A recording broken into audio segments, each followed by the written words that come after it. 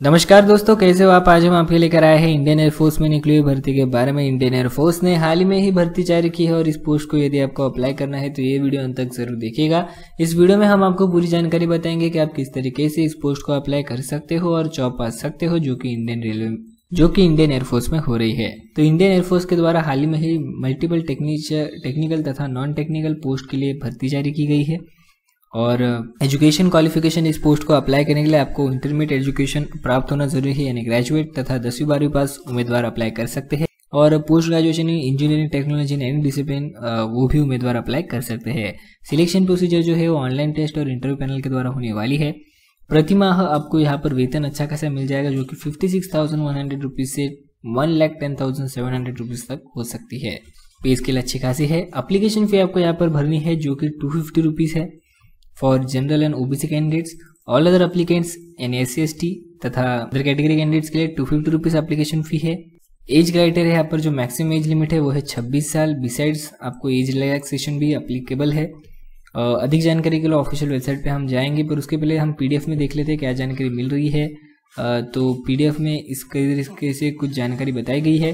पर last date apply करने के लिए क्या है वो देख लेते हैं, जो कि 15 जुलाई 2018 है। तो आप देख सकते हो आपके पास अभी भी दस दिन पूरे मिल रहे हैं आपको अप्लाई करने के लिए। तो आप पे डिपेंड करता है आप कितने जल्दी इस पोस्ट को अप्लाई करते हो और आपका एप्लीकेशन निश्चित करते हो। पंद्रह जुलाई तक आप अप्लाई कर सकते हो और पंद्रह जुलाई के बाद आपका एप्लीकेशन स्वीकारा नहीं जाएगा।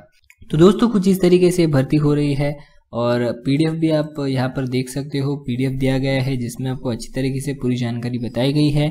PC for males candidate joining PC officer will be continue to serve till the age of supreme age per the branch and rank uh, SSC for male and women's engaging period of flying branch SSC officer in 14 years and the date of commission यानी not extensible ऐसे जानकारी बताए कि type of commission कैसे males के लिए कैसे है फीमेल्स uh, के लिए या वुमेंस कैंडिडेट्स के लिए कैसे है 20 से 24 साल तक के उम्मीदवार अप्लाई कर सकते हैं और फ्लाइंग ब्रांच के लिए जनरल ड्यूटी के लिए 20 से 26 साल यानी दो uh, साल एक्स्ट्रा है।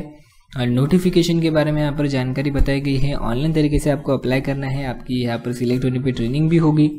और पे रैंक्स कैसे होने वाले हैं तो जैसे हमने पहले डिस्कस करा आ, किया है वो।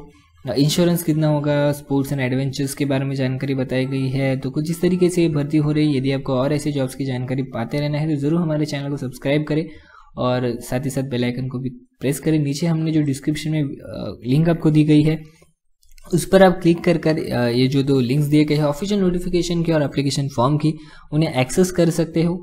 और अप्लाई भी कर सकते हो, जिससे आपको अप्लाई करने में दिक्कत नहीं होगी। तो दोस्तों, आशा करते हैं वीडियो आपको पसंद आई होगी। हम मिलेंगे आपके साथ ऐसे किसी और वीडियो में। इस वीडियो को देखने के लिए धन्यवाद।